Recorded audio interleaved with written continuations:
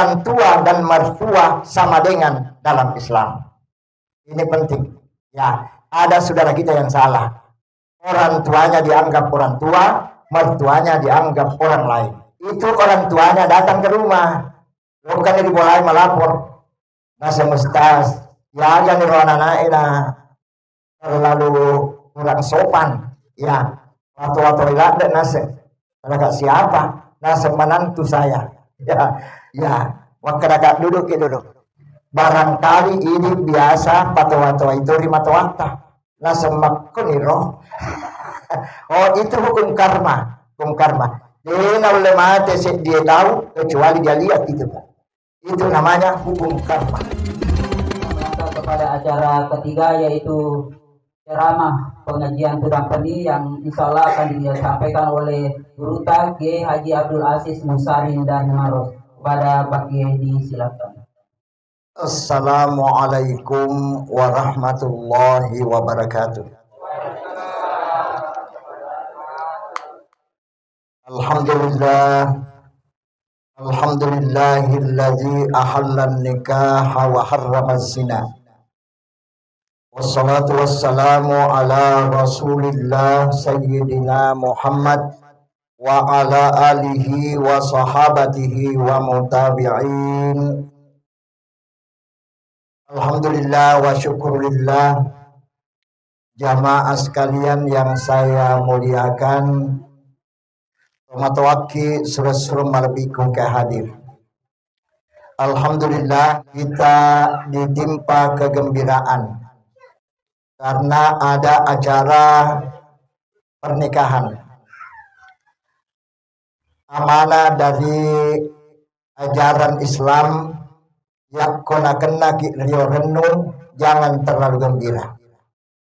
Yakuna kena ki susah atau masalah jangan terlalu susah.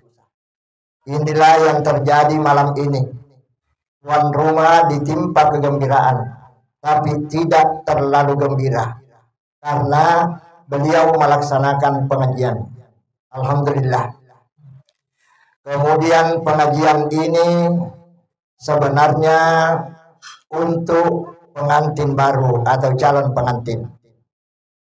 Namun kita yang hadir ini mega pengantin tua. Jadi insya Allah kita akan bagi-bagi pengalaman. Ada nasihat saya berikan untuk pengantin baru atau calon pengantin. Kemudian ada juga nasihat yang kita berikan kepada pengantin tua. Insya Allah. Yang pertama dulu saya pesankan kepada pengantin baru atau calon pengantin yang akan menikah besok. Itu pernikahan sebenarnya Bapak Ibu ada dua. Ada namanya nikah syar'i. Ada namanya nikah batin. Jadi dua lo dia gurui kadangkala kita yang dia gurui nikah syar'i ya kalau loka botingnya pak guru ya bagaimana cara menerima itu? Ya. Padahal sebenarnya yang terpenting adalah nikah batin. Kenapa? Kalau orang bagus nikah batinnya anaknya juga akan bagus. Kalau orang tidak bagus nikah batinnya maka anaknya juga akan berantakan. Ya. Oleh karena itu, orang tua-tua kita dulu rata-rata itu nikah batinnya bagus. Karena dia pelajari betul. Bukan hanya penerimaan itu dari Pak Imam yang dipelajari. Karena nikah syar'i besok itu itu namanya nikah syar'i yang dipegang Imam. Ada saksi, ada wali. Tapi kalau nikah batin tidak ada saksi dan tidak ada wali. Hanya berdua saja di malam pertama. Justru itu saya pesankan calon pengantin kalau malam pertama jangan begitu mau masuk kamar langsung keluarkan baju. Jangan dulu. Ya, Pak Mega tuh dia penatama kamar buka memang di bajuna. Ya, Padahal aturannya itu masuk dulu dengan baik, masih pakaian bagus. Kemudian duduk bersama dengan istri. Ini namanya nikah batin. Tudaki bersama dengan istri. Kemudian jabat tangan, ya, jabat tangan dengan istri. Begitu jabat tangan dengan istri, apa yang terjadi? Laki-laki atau suami baca syahadat pertama. Ashadu an la ilaha illallah. Kemudian istri atau perempuan baca wa ashadu anna muhammadar rasulullah. Jadi disambung ini, diusahakan bersambung. Masih jabat tangan. Ya. Kemudian Bapak Ibu jamaah sekalian sesudah baca syahadat pertama dan syahadat kedua Kemudian laki-laki berniat. Ya, harus berniat di berniat laki-laki. Sejak hari ini atau malam ini saya halalkan seluruh jasmani saya untuk istri saya. Sebutkan namanya. Dunia akhirat karena Allah. Ya. Kemudian perempuan juga berniat sama. Sejak malam ini saya halalkan seluruh jasmani saya untuk suami saya. Sebutkan namanya. Dunia akhirat karena Allah. Nah, sesudah itu baca salawat bareng-bareng. Baca nih salawat sama-sama berdua. Allahumma salli ala Sayyidina Muhammad wa ala ali Sayyidina Muhammad. Alhamdulillah. Selesai. Itu yang disebut nikah batin, Pak. Dipasisioi dengan dua kalimat syahadat. Alhamdulillah. Ya. Yang menjadi persoalan malam ini mungkin ada pengantin tua yang belum belum pernah mengadakan nikah batin. Jadi kira-kira makasih ke apa ke pamula payimak pesan marwa cinampur. ya, main-main tapi benar ini Pak. Tapi yang bagus mengulangi ini adalah pengantin tua yang masih yang masih produktif. Ya. Wedi mau pangkah ya yang kematawani aweh aja nah. Apalagi kalau kada luar nih ada. Oh tidak ada kada luar pak. Apa artinya kalau tidak bisa kita manfaatkan ini berikan kepada anak kita berikan kepada ponakan-ponakan kita supaya kalau ya dia berhasil cucunya adalah cucu kita. Ya, oleh karena itu kalau cucu jadi baik, yang pertama berbangga adalah nenek. Ya, oleh karena itu ya nikah batin ini bukan hanya untuk calon pengantin atau pengantin baru, tapi juga untuk pengantin tua sekalipun. Ya. Ah, kemudian Bapak Ibu, itu yang pesan pertama saya pesankan kepada pengantin baru atau calon pengantin. Yang kedua, saya pesankan kepada pengantin baru juga atau calon pengantin masalah penghormatan kepada orang tua. Kalau sebelum akad nikah, orang tua kita baru dua. Ada bapak, ada ibu. Tapi kalau sudah akad nikah, orang tua kita bertambah menjadi empat. Kalau keempat-empatnya masih hidup. Ya, empat nih tomat satu. Dua laki-laki dan dua perempuan. Kenapa? Orang tua dan mertua sama dengan dalam Islam. Ini penting. Ya, ada saudara kita yang salah. Orang tuanya dianggap orang tua, mertuanya dianggap orang lain. Itu salah. Ya, salah. Malah saya pribadi Bapak Ibu lebih menghormati mertua saya. Kenapa? Karena yang berjasa sebenarnya itu adalah mertua. Kenapa? Alena tuh para kaya anak nah sampai besar sampai bisa dipakai. ya, si senna bisa dipakai siapa yang pakai? Oh kita yang pakai. Jadi harus hormat. Terima kasih mertua. ya, tapi banyak yang lupa itu lupa ya lalu lupa ya bahwa harus berterima kasih kepada mertua kita. Ya. Oleh karena itu, jamaah sekalian, ini yang penting. Tolong nak pengantin baru hormati orang tuamu sama dengan hormati mertuamu. Ya, satu dosanya kepada orang tua, satu juga dosanya kepada mertua. Ya, ini penting. Saya lihat di kampung saya di Maros banyak perempuan yang berdosa kepada mertuanya. Di sana di Maros. Kalau di sini alhamdulillah tidak jauh beda. ya, oleh Megatokom aja. Ya. Ternyata baru-baru ini ada kasus, Bu Baru tiga bulan selesai apa voting. Itu orang tuanya datang ke rumah. Bukan dimulai melapor. Nah semustas.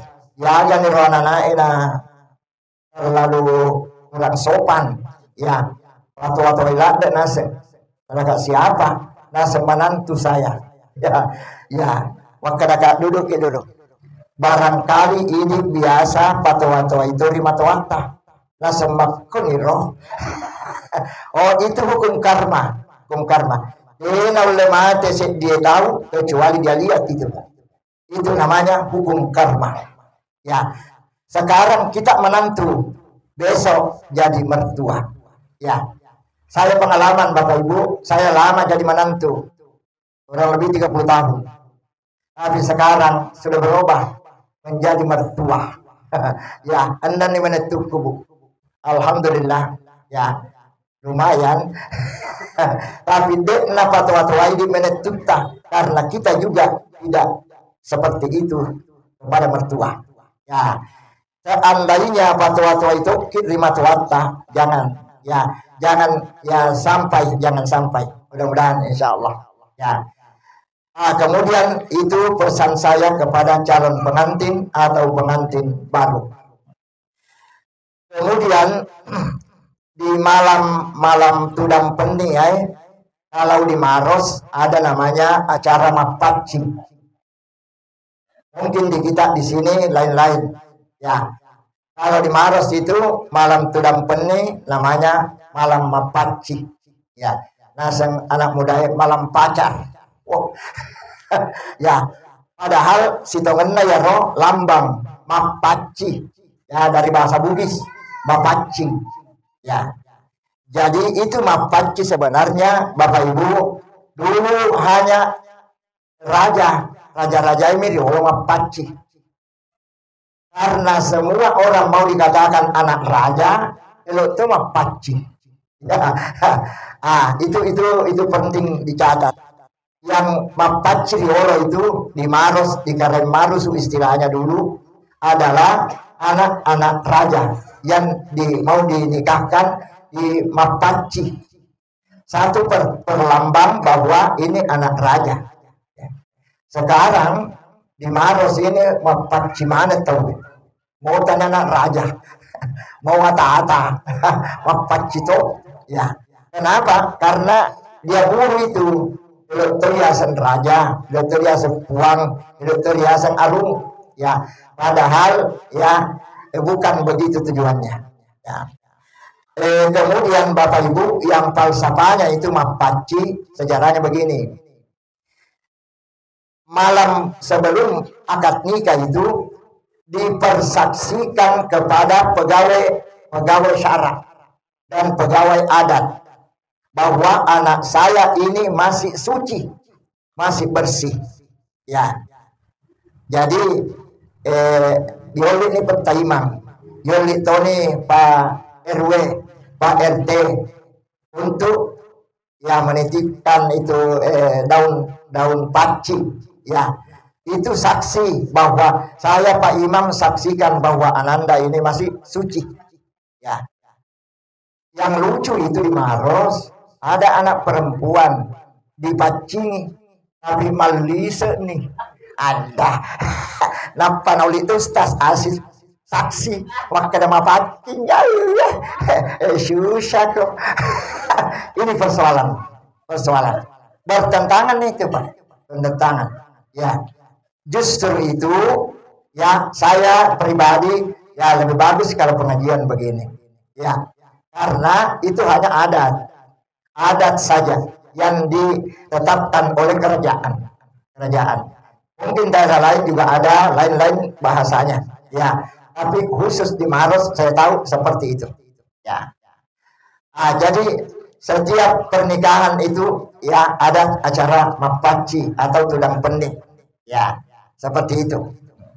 Tapi yang utama sebenarnya adalah mendoakan. Mendoakan calon pengantin. Mendoakan kita semua. Supaya dalam acara ini tidak ada kekurangan sesuatu apa pun. Ya, Alhamdulillah. Nah, kemudian Bapak Ibu, yang kedua, saya akan bicara masalah pengantin tua. Ya, jadi tersinggung pengantin tua ini Pak.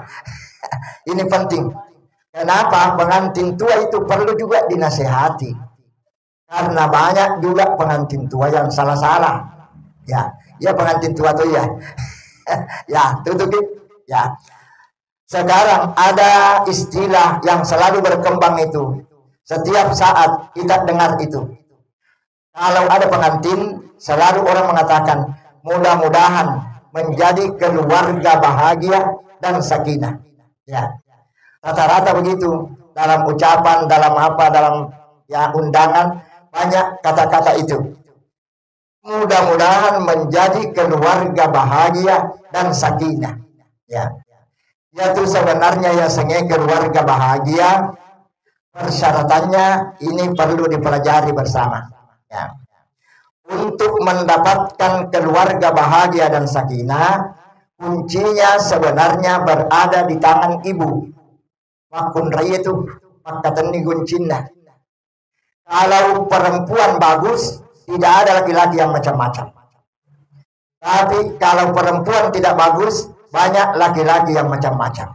Ya mudah-mudahan dek macam-macam. Ya. Ah sekarang saya titip kepada ibu-ibu atau pengantin perempuan. Itu pembinaan keluarga sebenarnya eh, ada tiga pesan ulama. Ya harus perempuan belajar mengikat suaminya dengan tiga ikatan. Elo di siok tu lakaita ikat dengan tiga ikatan. Kamu lagi nampak polisi nih siok memen nih ya ikat dengan tiga ikatan. Ya. yang pertama elok diikat ikat matanya. Kenapa matanya perlu diikat? Karena nafsunya laki-laki itu berada di mata. Ya, laki-laki itu rata-rata balala mata. Mau ke mana orang itu? Oh, teman tuh, wah, termasuk Pak Ustaz. Yang asing Pak Ustaz dia balala mata, bah. Aslina. Mamata jonga. Hati-hati jadi bodoh namanya itu mak kacamata lotong. Ya, mak kacamata bolong. Ya, Sebenarnya laki-laki penyakitnya di situ. Matanya. Ya, jadi ikatlah matanya. Jadi perempuan itu harus belajar mengikat matanya. Sioi matana. Ada isi okengi ikat dengan tali. Oh jangan. Maka solaki itu. Maka solaki. Tapi pesan ulama ikatlah matanya dengan keterampilan berkosmetik Ya, ya itu mah kontraya perlu macam mode. Macam merah-merah pipi. Ya, baca ya berkosmetik. Ya pengalaman bu? Kalau dua hari, tiga hari dek nang kau minta merah-merah pipi, malah asakah? Hak ya, mupa aji kah pemak Iya, tuh ya. Ako din na biasa mita mere mapipi bola na na masuk na mita eh bahaya tuh. bahaya. Nah, itu bagusnya. Jadi perempuan itu harus bersolek untuk suaminya, bukan untuk orang lain. Ternyata ya di lapangan saya lihat ya apa nama modenya kalau kebutingnya. Oleh butingnya, nah dulu berdana lebih-lebih wanita wana bapaknya. Kada bapak eh ya kubeda na lebih-lebih na tawa aku. Susah. Ini persoalan saudara. Ya. Boleh nanti buktinya na lulu na. bagusnya itu kebun kebuting aja ke lulu ada itu bapak eh. ya yang kau kasih bagian bapak ya nasi lo kasih kebutingnya baca ya selalu diperintahkan ke pengantin ya eh, Alhamdulillah ya jadi ikat matanya dengan keterampilan berkosmetik satu kemudian yang kedua ikatlah lehernya Syair lona. Ya, pesan itu dulu apa ya? Landa, maka solaki. Jangan ikat dengan tali, tapi ikatlah lehernya dengan keterampilan masak memasak. Ya, itu makun harus macam mana sunasu. Ya, harus pintar. Ya, pintar. Ya. Kenapa? Kalau masakannya bagus di rumah, laki-laki tidak mau keluar, keluar-keluar itu dia betah di rumah. Tapi kalau itu tidak beres, pasti selalu mau keluar. Iya. Ya kode nah si cocok ya tuh seleranya, dia selalu mau keluar. Kalau keluar dia mencari warung pojok. ya kalau warung pojok dia mau bermalam. Salahnya lah ya. Ya, salah nih. Itu ya logikanya seperti itu, Pak. Ah, jadi ada di Maros itu Pak laki-laki mengatakan ya sedih mama na mana sunasu sisaliwa pejena sisaliwa kecina sama sedelo na racun ada itu kata-katanya orang yang tidak puas dengan nasu-nasun nabenena ya justru itu perempuan harus terampil masak memasak ya karena itu itu sebenarnya pengikat bagi laki-laki ikatlah lehernya dengan keterampilan masak memasak. Kemudian yang ketiga, ah, yang ketiga ini paling padat ini. Ikat kakinya. Sio iya jena. Oh, di matuluk apa ya? Landa, maka sholat Ikat kakinya dengan kata-kata yang manis dan senyum yang mesra. Alhamdulillah. Ya. Jadi kata-kata yang manis dan senyum yang mesra. Artinya begini, yang kalau Jogja Bapak E mau ke luar, mau ke kantor, mau ke rantauan atau mau ke mana, eh, sioi, sioi ajena dengan kata-kata yang manis. Begini, yang kalau di Jogja eh, Bapak E, ya eh, perempuan itu harus ikut ke beranda depan Acuki masuk gue atau di teras. Kemudian bisik telinganya dengan kata-kata yang manis. Bagaimana caranya? Kata-kata yang manis itu ya langsung ke depan. Jangan lama ya. Alhamdulillah. Itu pengikat. Kenapa? Saya pengalaman Bapak Ibu. Saya setiap Ramadan ya keluar daerah Pak. Di kontrak di Timika. Ya, ya kalau Kak Loka mau berangkat, ibu ibu haji di rumah itu pintar. Macoy masuk udah udah gue di teras. Sama nasi ada loko dan cubiku. Saya nabici nabici. Ah, jangan lama ya. Alhamdulillah. Ternyata itu pengikat pak. Biasa saya sudah lebaran harus pulang. Nah takut panitia. Maka tunggu dulu satu hari lah Ustaz. Kita mau halal bihalal. Ya, tapi dia nak kulit tahan karena sudah ternyanyian di telinga pak jangan lama ya langsung apa di uluwe ulu yawa ulu yase masya Allah bunga-bunga atau ngeser itu pengikat yang luar biasa ya. tapi kita kita ini banyak salah yang loka bapak eh loka ya lakaita nah, macet itu masuk tapi dia berikan kata-kata sumbang. Ada nasa tapi tahu lah kaina nasa ngabun ni siko oke bapak ide lagi mesuro kak. Ya jadi ini kurang bagus. Jangan berikan kata-kata yang keras. Karena laki-laki itu diciptakan dari barang yang keras. Ya kalau dikasih kekerasan tidak mampan itu. Tapi coba batu sekeras batu. Nah tetiki wai bosi teruk. Lama-lama bocor itu.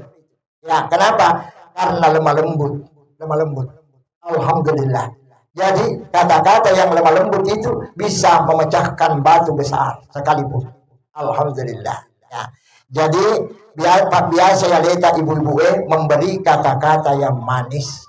Ya, kata-kata yang lembut kepada suaminya. Alhamdulillah. Kemudian yang kedua dengan senyum yang mesra. Kalau bapak pulang dari kantor, pulang dari kerja, dari mana, dari mana, sambut dengan senyum. Ya, jadi di makun rei perlu maca senyum. Ya, asal jangan senyum terus. Ya, ya perlu ki maca cap beru.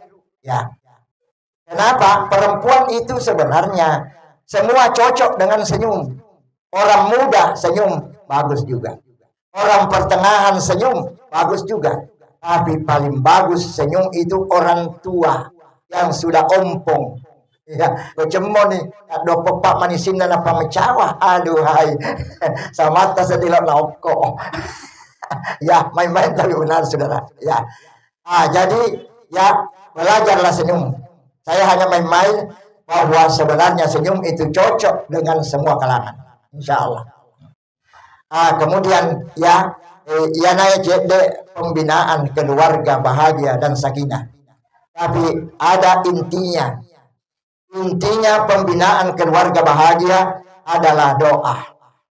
Dilau doangan keluarga ta. Supaya jadi keluarga bahagia dan sakinah. Apakah istri berdoa, apakah suami berdoa. Karena sebenarnya rahasianya Bapak Ibu, ada tiga wanita yang makbul sekali doanya itu. Yang pertama, istri mendoakan suami. Ya, jadi rahasia sebenarnya ya tapi tak kalah pau nih ya ya apa itu? Laki-laki jangan macam-macam. Kalau istrinya pintar berdoa apa naja ki itu ya baru itu kelebihannya perempuan. Megato rahasia tuh ya kalau dia cai makin nasa salah sih kedua ya macam tuh makun ya. Nasa nolena na istek kedoku naiseng perbuatanku. Tiba-tiba dia tahu itu. Ya itu kelebihannya perempuan. Ya. Jadi perempuan istri mendoakan suami itu mujarab sekali pak. Mujarab. Ya. Alhamdulillah. Kalau ada perempuan suka mendoakan suaminya insya Allah. Lihat reaksinya pak ini itu baik maja idi makun raya pada dan kan lo doang lah kainnya sangin jorok nih ya sangin kedai mi sangin nyapa mi wah dah istri seharusnya mendoakan suami. Kalau rezekinya mau naik, doakan suami. Doakan. Suami cari rezeki, suami berusaha, suami ini kemudian istri mendoakan. Alhamdulillah. Ya, itu berkah, berkah. Kemudian yang kedua, perempuan yang makbul doanya adalah ibu mendoakan anaknya. Boleh dicontoh Bapak Ibu, kalau Bapak masih ada anaknya kuliah, masih ada anaknya sekolah, ada anaknya masuk menghafal Al-Quran, maka rahasianya suruh ibunya mendoakan dia. Ya pengalaman Bapak Ibu, eh, Alhamdulillah delapan saya punya anak Bu. Kemudian berhasil jadi hafal Quran tiga orang. Kenapa? Pertama di maktabal upasai bermakna. Doakan doakan dia. Alhamdulillah mengganti selesai itu ya koma kuliah nata ya nah tersendat-sendat hmm. suruh nah mendoakan dia insya Allah jadi namanya selesai itu ya doa ibu kepada anak itu mujarab sekali ya kemudian yang terakhir yang mujarab doanya perempuan yang mujarab doanya adalah nenek mendoakan cucunya. Ya jadi kalau umpama dia sempat mamanya mendoakan dan kamu nenek perempuan ah, itu yang suruh. Illa doangnya pota illa doangnya pota ya setiap selesai salat doakan cucunya doakan cucunya insya Allah. Kita akan lihat pak reaksinya ya Alhamdulillah. Ya Alhamdulillah. Ya gampang berhasil itu pak. Ya. Biasa karena anak kurang ya kurang cekatan dalam berpikir dan seterusnya biasa tertunda-tunda kuliahnya. Oh suruh mama mendoakan atau neneknya kalau masih ada. Nenek perempuannya mendoakan dia terus menerus insya Allah keberhasilan akan menyambut dia insya Allah tapi bapak ibu jamaah sekalian ada resep yang perlu saya sampaikan kepada jamaah semua. Kalau kepingin mendoakan anak, ya bagusnya itu Bapak Ibu ya sempajang hak jagang ya nata. Ya, kalau selalu berdoa begini begini semakin ada berhasil ya. Oh, kuncinya pertama eh, yang terakhir itu adalah salat hajat. Sempajang hak jagang ya nata. Salat hajat itu tidak selamanya tengah malam. Tidak selamanya jam 2. Dah, ya. Yang penting jam-jam 9, jam 10 seperti ini sudah bisa salat hajat, Pak. Ya, sendat-sendatnya anak eh, taman nih kamar eh, salat dua rakaat saja. Dua rakaat itu. Ya. Ya nanti nak kena adanna pun Allah Ta'ala makada wasta'inu bis sabri wassalah. Minta tolonglah kepada Allah dengan sabar dan salat. Salat yang dimaksud itu bukan salat wajib, tapi salat sunnah, salat hajat. Ya. Jadi kongka eh, masalah dia keluarga terjana dan seterusnya dirikan salat hajat. Utamanya anak tak, ya sempajang jagang. Kongka anak dia namanya rajin mas sempajang. Jadi agan yang anak ya nada dah, aku hapi dah dah dah. Iwak lincana, tapi ku sempajang awah. Aduh dong ya Malopoli na sepura di malakai, pura di makbene, ya. Tapi salatnya belum. Oh, tahu ini sempajang haja, ya. As sempajang haja kan ya nata, ya. Salat hajat itu kan gampang. Usalli sunnatal hajati ini lillahi ta'ala. Langsung Allahu Akbar. Kemudian baca Fatihah ayat pengumpulnya itu ayat kursi ayat kursi. Jadi kalau kita sampai aja apa-apa lah itu ayat kursi. Ya yang itu mau watat tuh mau ini nah apa lah ayat kursi.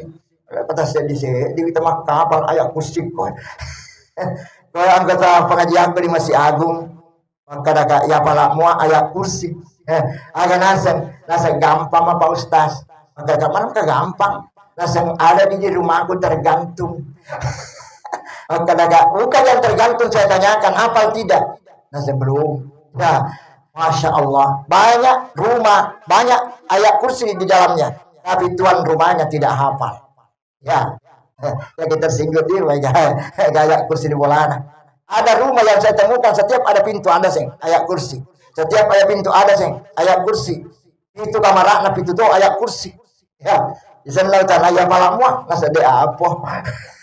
Ini persoalan. Ya. Padahal salat hajat itu paling bagus ayat kursi rakaat pertama. Kemudian rakaat kedua al-insyirah, al-nasrah. Ya. Ah, tapi bila dampeng jamaah sekalian tanpa kecuali yaitu kemas yang hajat kita berdoa di dalam salat bukan di luar salat. Ayo nih, salah resep biasa. Ada orang pura pi mas sempaja pura berselan apa melau doa tunggu malampe doanya. Bukan begitu. Tapi di dalam salat kita berdoa. Ada lima tempat makbul di dalam salat hajat. Tolong manfaatkan itu Pak. Ya. Tempat makbul pertama sesudah baca iya karena budu wa iya karena nasta'in. Jadi kau mas yang hajat begitu baca iya karena budu wa iya karena nasta'in istirahat tidak baru masukkan proposalnya ke situ. Pertama nih kalau ada hajatan. Kalau anak kita harus dipatok ya kita di dalam hati saja ke bahasa daerah. Kalau bahasa Arab boleh dengan lisan. Tapi kalau selain bahasa Arab ya di hati saja. Bentuknya kita. Jadikan anak saya si A. Sebut namanya. Jadikan anak saya si A rajin mas sempajang Alhamdulillah. Ya. Tapi lima tempat makbul itu sedina anak dari pertama. Sedina. Jangan lima tempat makbul lima tu anak dari pertama. Nah borong nih. Akhirnya malaikat pusing ya sedih makna tiga itu diterima pak lima lelang. Ya, jadi satu saja. Satu. Ya. Anak pertama, anak pertama, anak pertama, anak pertama. Ya, berhasil pasti mati ya tuh baru asam jaga yang anak kedua ya alhamdulillah ya nah, jadi sesudah baca iya karena budu wa iyyaka nasta'in. Itu tempat makbul pertama. Contohnya kita kalau pancaji anak puang anak usi A, pancaji anak yang rajin salat. Alhamdulillah. Murero, pastor ini baca ihdinas siratal mustaqim seterusnya. Ah, kemudian tempat makbul kedua, waktu selesai baca sami Allahu liman hamidah. Ya. Itu perlu baca sami Allahu liman hamidah, jangan cepat. Sujud. Baca nih kertoknya kita sih. Ya Allah, jadikan anak saya si A ini jadi ahli salat. Ya. Pancajian anakku merajim mas sempajak. Sudah dua. Kemudian tempat makbul yang ketiga, sesudah baca doa antara dua sujud, yaitu ke sujud pertama, sujud kedua, eh, menjelang sujud kedua ada duduk. Satu doangan dibaca kalau ngalampet. Rabbi gfirli warhamni wajibubni warzuqni wahdini wa'afini wa'fu. Selesai baca itu masuk lagi. Ya Allah, jadikan anak saya anak yang rajin salat. Sudah tiga. Kemudian tempat makbul yang keempat, sujud terakhir. Ya, itu sujud terakhir ini boleh baca doa sujud terakhir, masuk lagi di situ proposalnya. Jadikan anak saya anak yang rajin sholat. Ya. Kemudian dulu akhir akhir tempat makbul yang kelima sebelum salam. Yang kau eh, kita merunduk itu ke bawah. Nah, di situ tempat makbul terakhir. Betul siap kita pancajianlah anakku anak yang rajin salat langsung assalamualaikum. Alhamdulillah. Boleh kita lihat berkahnya pak? Nolak terlumpen ini di pogau itu. Ada perubahan. Insya Allah. Ya. Kenapa? Saya pengalaman bapak ibu. Ya. Mega anakku iya. Ya. Kami tua anak masa de de sempajang haja kami topi bangsa ya. Kenapa buntu buntuin kami tua fakta tuh ya Ya kira lagi anak-anak ustaz macam mana dah. Ya, dibantu Pak. Dibantu Pak doa. Ya, alhamdulillah.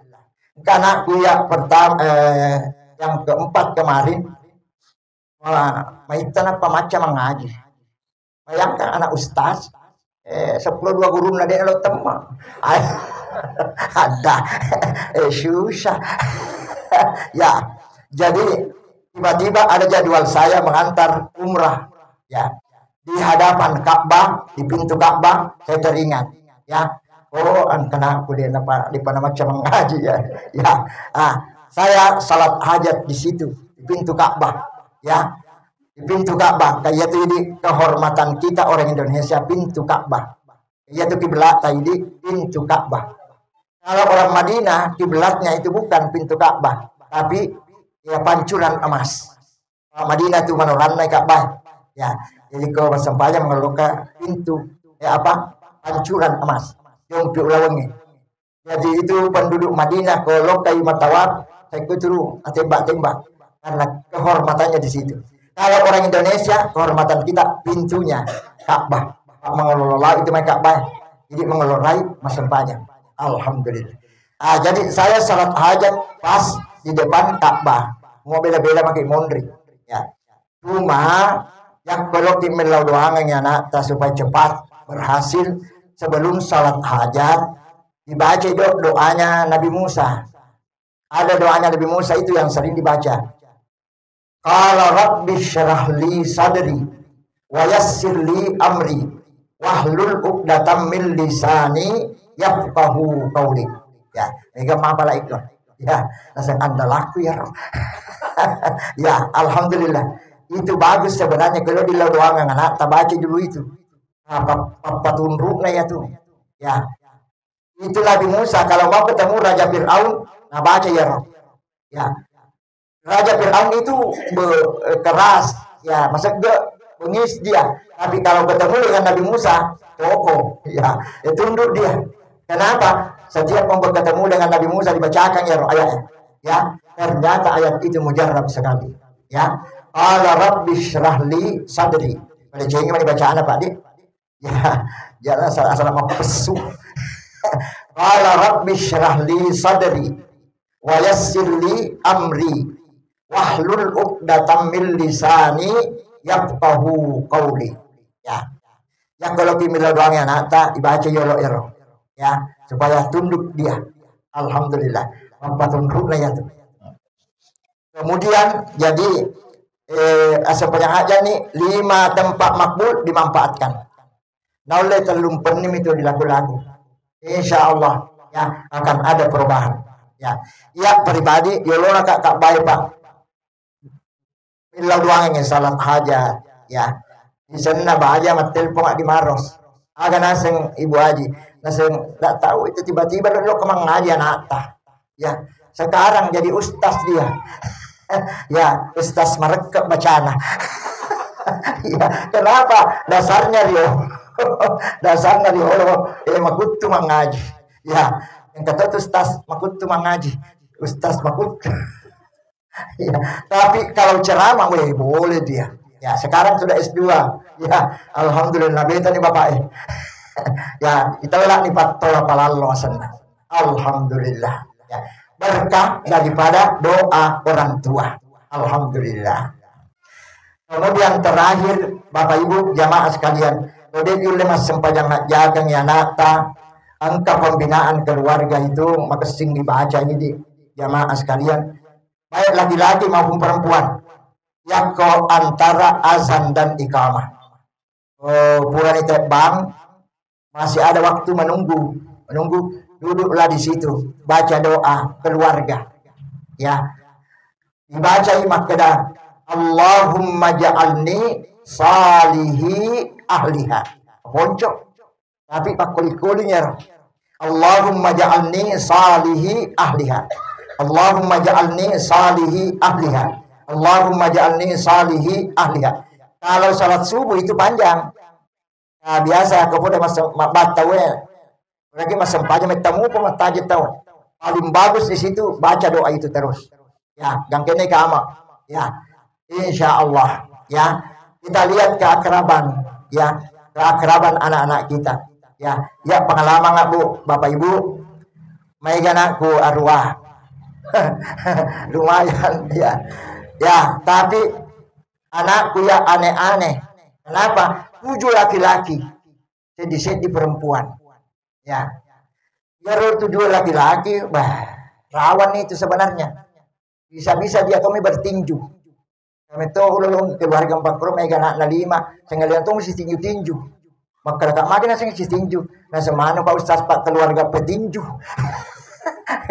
ya, oh ternyata kau marajingi ya membaca doa ini antara azan dan ikamah. Ya, baik subuh mau loro asara yang penting yang penting ada kesempatan baca. Yang kata dulu dibaca di kamar pesan. Pak milih wajah nak kamar nih biar tapi ke subuh na malam lampu betul ya, banyak-banyak kali kita baca itu. Ya, Allahumma ja'alni salihi pakai soal ya. Salihi ahliha. Ya, ahliha. Ya. Baca baca ini bacaan ya. Kalau biasa itu sebenarnya masalah eh, salah baca tahu eh. Nah, salah salah doanya ya biasa guru guru dicairi yang stas er pak guru kat itu kan buat buat kadang macam saya kan kali nggak pakai pelatung dia tunggu dibaca nama baca itu persoalannya nah, karena sebenarnya doa itu rata-rata bagus cuma aku salah baca ki apa boleh buat ya apa boleh buat ya.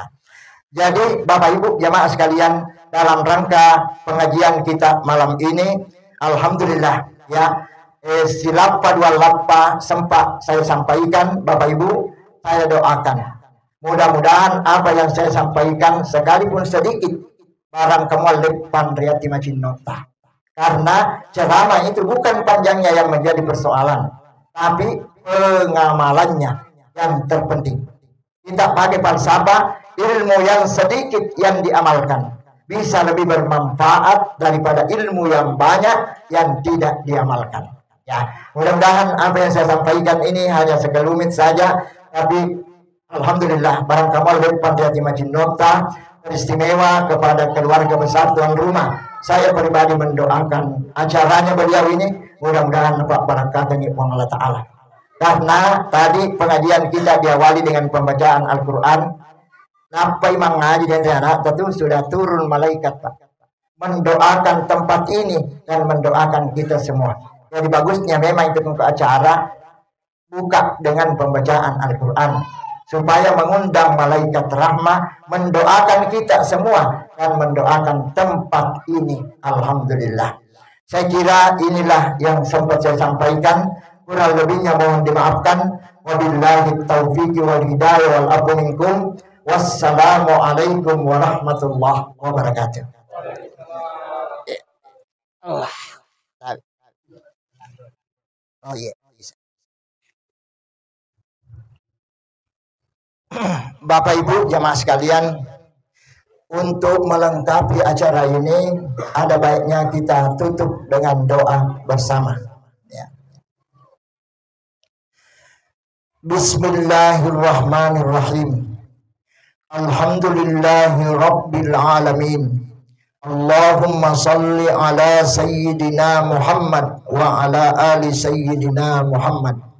Allahumma zidna al-barakah wassalamata fi hayatina dunya wal fawza bi a'la maratiba fil akhirah. Bi barakati nabika Muhammadin sallallahu alaihi wasallam tahiyatan wa salamatan fid darain tahiyatan wa salamatan fid darain. Tahiyatan wa salamatan fid darain. Wa bi barakati ayatillah fi kitabihil azizil karim. Salamun qawlan mir rabbir rahim. Salamun qawlan mir rabbir rahim. Salamun qawlan mir rabbir rahim. Allahumma inna nas'aluka mutaba'atan nabi sallallahu alaihi wasallam. أولا وآخرا وظاهرا وباطنا وقولا وفعلا وطاعة وعبادة. اللهم أحينا بحياة الإسلام وأمتنا بموت الإسلام وأدخلنا الجنة مع الأبرار. يا عزيز يا غفار يا رب العالمين. اللهم ارزقنا حبك وحب من أحبك وحب ما يقربنا إلى حبك واجعل حبك أحب إلينا من الماء البارد. اللهم يا ودود يا ودود يا ودود يا ذا الأرش المديد يا مبدئ يا معيد يا فعال لما يريد. نسألك بنور وجهك الذي ملأ أركان أرشك وبقدرتك التي قدرت بها على جميع خلقك وبرحمتك التي وسعت كل شيء لا إله إلا أنت يا غياس المستغيثين أغثنا ربنا آتنا في الدنيا حسنة وفي الآخرة حسنة وقنا عذاب النار وصلى الله عليه والحمد لله رب العالمين في هذه النية والأمل الصالح Al-Fatihah. Bismillahirrahmanirrahim. Alhamdulillah rabbil alamin arrahman Iyyaka na'budu wa iyyaka nasta'in. Ibdinas siratal mustaqim. Siratal ladzina an'amta 'alaihim ghairil maghdubi 'alaihim waladdallin. Terima kasih hadanallahu wa. Wassalamualaikum warahmatullahi wabarakatuh.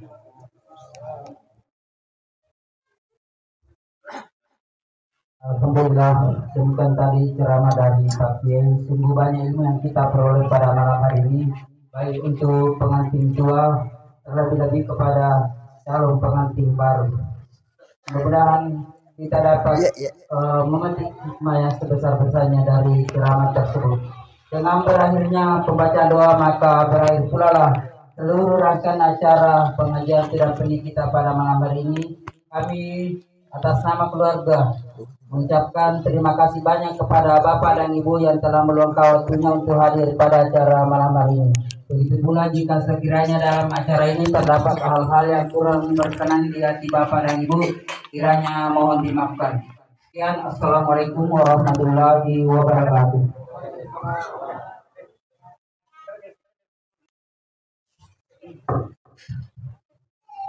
Pada Bapak dan Ibu silakan uh, apa yang telah disediakan. Uh, kembali melalui kesempatan ini pula kami memohon keikhlasan kepada Bapak dan Ibu salah besok untuk datang mengantar